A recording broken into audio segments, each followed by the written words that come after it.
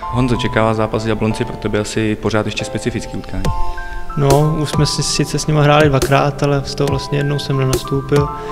A vlastně na ty zápasy se těším asi víc než na kterýkoliv jiný. No, uvidím zase kluky a doufám, že tentokrát na třetí pokus se konečně porazíme.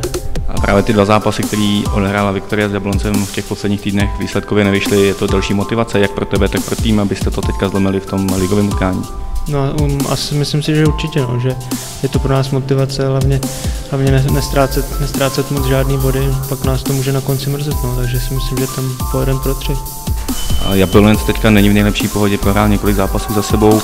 Byl jsi i třeba osobně v kontaktu s klukama, nebo respektive pořád, jestli jsi s nimi ještě v kontaktu? No, dá se říct, že skoro pořád, no, tak víceméně v obden si s někým napíšu něco, takže, takže to ještě občas se spolu sejdem na kafe nebo takhle. No ta nálada tam teda asi teďka ideální není, nebo respektive sledoval si ty výsledky Jablonce v těch posledních týdnech? No já se snažím nejenom výsledky, ale i zápasy celý koukat, protože přece jenom jsem tam nějakou dobu strávil, tak tam mám, mám tam nějaké kontakty a sleduju no.